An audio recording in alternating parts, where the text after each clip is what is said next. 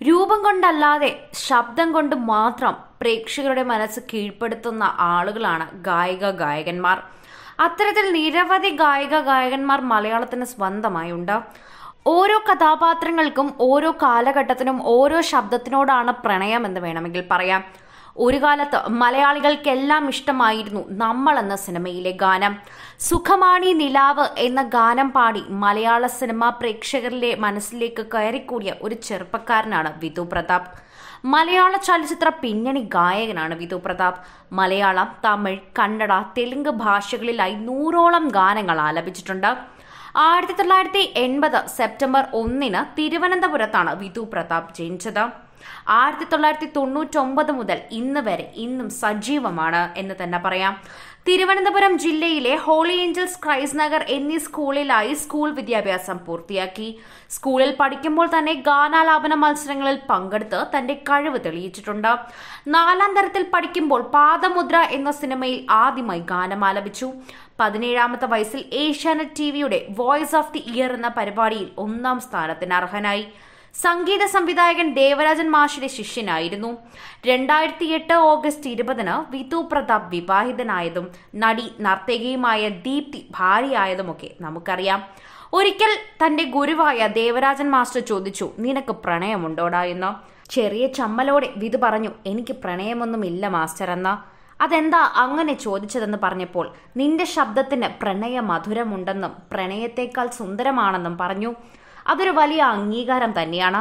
പക്ഷേ അന്ന് പ്രണയമൊന്നും ഇല്ലായിരുന്നുവെങ്കിലും പെൺകുട്ടികളോടോ പ്രണയത്തിനോടോ യാതൊരു എതിർപ്പുമില്ലാത്ത വിധു പിന്നീട് ദീപ്തിയെ വിവാഹം കഴിച്ചത് ഒരു അടിപൊളി സ്റ്റോറി തന്നെയാണ്. വലിയ ലവ് സ്റ്റോറി ഒന്നും ഇല്ലെങ്കിലും സൗഹൃദ കഥയാണ് ഇവർ തമ്മിലുള്ളത് എന്ന് തീർച്ച. രണ്ടായിരത്തി എട്ടിൽ കല്യാണം കഴിക്കുന്നതിന് മുൻപ് ഇവർ തമ്മിലൊരു ബന്ധമുണ്ട് സീനിയർ ജൂനിയർ ബന്ധം. രണ്ടുപേരും പഠിച്ചത് തിരുവനന്തപുരം മാർവാനിയസ് കോളേജിലാണ്. പ്രീ ഡിഗ്രി കഴിഞ്ഞ് ഡിഗ്രിക്ക് ചേർന്ന വിധു ഫൈനൽ ഇയർ കംപ്ലീറ്റ് ചെയ്തപ്പോഴായിരുന്നു ദീപ്തി ആ കോളേജിലേക്ക് കടന്നു വരുന്നത്. വിധു പ്രതാപ് എന്ന ഗായകൻ പഠിച്ച കോളേജാണെന്നറിയാം. പക്ഷെ കൂടുതലൊന്നും ദീപ്തിക്ക് അറിയില്ല. കാരണം ദീപ്തി പഠിച്ചതും വളർന്നതുമൊക്കെ പുറത്തു നിന്നായിരുന്നു. അങ്ങനെ ഇരിക്കുമ്പോഴാണ് ആ സമയത്ത് മീശ മാധവൻ എന്ന ദിലീപ് ചിത്രം ഹിറ്റാകുന്നത്. അതിലെ കരിമിഴി കുരുവിയ എന്ന പാട്ടും ഹിറ്റായിരുന്നു. അത് പാടിയ ആൾ പ്രതാപാണെന്ന് ദീപ്തിക്ക് അറിയാമായിരുന്നു. ദീപ്തി കരുതിയത് അത് തന്റെ സീനിയർ വിധു പ്രതാപ് ആണെന്ന് തന്നെയാണ്. ഒരിക്കൽ ഗസ്റ്റായി സ്വന്തം പഠിച്ച കോളേജിൽ വിധുവെത്തി. മാറുവാനിയസിൽ ഒരു പ്രോഗ്രാം അവതരിപ്പിച്ചുകൊണ്ടിരുന്ന സമയത്ത് ദീപ്തി കണ്ടപ്പോൾ വിധുവിനോട് ചോദിച്ചു കരിമിഴി കുരുവിയെ പാടിയ ആളല്ലേ എന്ന. വിധുവിന്റെ സ്വഭാവം എല്ലാവർക്കും അറിയാം. വളരെ രസകരമായി കളിച്ചു ചിരിക്കുന്ന സ്വഭാവമാണ്. ഒന്ന് പറ്റിക്കാനായിട്ടാണെങ്കിലും പറഞ്ഞു അതെന്റെ അച്ഛനാണ്. ഞാനല്ല പാടിയതെന്നാണ്. ഞാൻ പാടിയത് വാളെടുത്താൽ അങ്കക്കളി എന്ന പാട്ടാണ് എന്ന് പറഞ്ഞു. ചമ്മിപ്പോയെങ്കിലും ദീപ്തി പിന്നീട് ആ സത്യം മനസ്സിലാക്കി. വിധു തന്നോട് കള്ളം പറഞ്ഞതാണെന്നും തന്നെ പറ്റിച്ചതാണെന്നും. അങ്ങനെ അവിടുന്ന് തുടങ്ങിയ ബന്ധമാണ് ഇരുവരുടെയും നല്ല സൗഹൃദം. പിന്നീട് ഒരിക്കൽ വിധുവും വിധുവിന്റെ ഫ്രണ്ട്സും കൂടി ഒരു മ്യൂസിക് ആൽബം ചെയ്യാൻ തയ്യാറായി. അതിലേക്ക് ഒരു ക്ലാസിക്കൽ നർത്തകിയെ വേണം. സ്വാഭാവികമായി വിധുവിന്റെ ഫ്രണ്ട്സ് അതേ കോളേജിൽ പഠിക്കുന്ന കുട്ടികളെ അന്വേഷിച്ചു. അങ്ങനെ നറുക്കു വീണത് ദീപ്തിക്കായിരുന്നു. വിധു പാടാൻ ഒരുങ്ങിയിരുന്നപ്പോൾ നർത്തകിയായി വന്നത് ദീപ്തി. നർത്തകിയായി. അന്ന് കണ്ട ചമ്മലൊന്നും മുഖത്തില്ലായിരുന്നുവെങ്കിലും നന്നായി ഡാൻസ് കളിച്ചു വിധുവും പാടി. അവസാനം ഇറങ്ങാൻ നേരം ഐസ്ക്രീം വാങ്ങിക്കാനുള്ള തുക മാത്രമേ ഞങ്ങളുടെ കയ്യിലുള്ളൂ. ഞങ്ങൾ കുട്ടികളല്ലേ എന്നുള്ള രീതിയിൽ ദീപ്തിയുടെ കയ്യിൽ അഞ്ഞൂറ് രൂപ വച്ചു കൊടുത്തു. അതിഗംഭീരമായി ഡാൻസ് കളിച്ചിട്ടും ഇത്രയും നേരം ഷൂട്ട് ചെയ്തിട്ടും ഒരു പരാതി പോലും പറയാതെ അഞ്ഞൂറ് രൂപയും വാങ്ങി ദീപ്തി വീട്ടിൽ പോയി. ഇത് തന്നെയായിരിക്കും വിധുവിന് ദീപ്തിയെ ശ്രദ്ധിക്കാനുള്ള പ്രധാന കാരണമെന്ന് പറയാം. പിന്നീട് നിരവധി ഗാനങ്ങളിൽ വിധുവിന് അവസരം ലഭിച്ചു.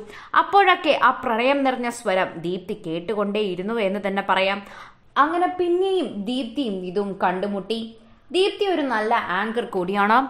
വിധു വരുന്ന പ്രോഗ്രാമുകൾക്ക് ദീപ്തി ആങ്കർ ചെയ്യാനും വന്ന് അങ്ങനെ പരിചയം വീണ്ടും പുതുക്കി എന്ന് തന്നെ പറയാം. അങ്ങനെ നല്ല സൗഹൃദം വളർന്നു. അറിയാവുന്ന സുഹൃത്തുക്കളൊക്കെ പരസ്പരം അറിയുന്നവരായതുകൊണ്ട് തന്നെ വിശേഷങ്ങൾ അങ്ങോട്ടും ഇങ്ങോട്ടും കൂടുതൽ അറിയാൻ തുടങ്ങി. അങ്ങനെ അടുത്തു സുഹൃത്തുക്കളായി. പിന്നീട് വിവാഹം. ഇരുവരും തമ്മിൽ നല്ലൊരു ലവ് സ്റ്റോറി ഉണ്ടോ എന്ന് ഇതുവരെ ഒന്നും തുറന്നു പറഞ്ഞിട്ടില്ല. പക്ഷേ വളരെയേറെ നാളുകളായി ഇരുവർക്കും അറിയാമായിരുന്നു. ആ സ്നേഹബന്ധം ഇന്നും തുടരുകയാണ്. ഇടയ്ക്ക് ഇരുവരും യൂട്യൂബിൽ വീഡിയോസ് ഒക്കെ അപ്ലോഡ് ചെയ്യാറുണ്ട്. നല്ല സജീവമായ താരങ്ങൾ. സോഷ്യൽ മീഡിയയിൽ നല്ല സജീവമായ വിധുവിനും ദീപ്തിക്കും നല്ല കപ്പിൾ ഫാൻസ് തന്നെ ഉണ്ടെന്ന് പറയാം. ഇവരാണ് മലയാളികളുടെ ഫേവറേറ്റ് കപ്പിൾ എന്ന് കൂടി പറയേണ്ടി വരും. ദീപ്തി സിനിമ സീരിയൽ മേഖലയിലൊന്നും അത്ര സജീവമല്ലെങ്കിലും വിധുവിന്റെ ഭാര്യയായ ദീപ്തി വിധു പ്രതാപിനെ എല്ലാവർക്കും അറിയാം. വിധു ഇപ്പോൾ റിയാലിറ്റി ഷോയിലെ ഒരു ജഡ്ജായിരിക്കുകയാണ്. ആ ഷോയിലും ദീപ്തി വന്നിട്ടുണ്ടായിരുന്നു. ഇരുവരും തമ്മിലുള്ള രസകരമായ നിമിഷങ്ങളൊക്കെ ഇരുവരും പങ്കുവച്ചിട്ടുമുണ്ടായിരുന്നു.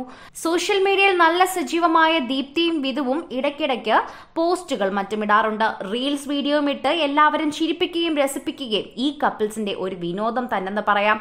വലിയൊരു ലവ് സ്റ്റോറി ഇല്ലെങ്കിൽ കൂടി ഈ മനോഹരമായ ഒരു വിവാഹബന്ധവും കുടുംബ ബന്ധവും വളരെയേറെ ഇഷ്ടമാണ് ആളുകൾക്ക്.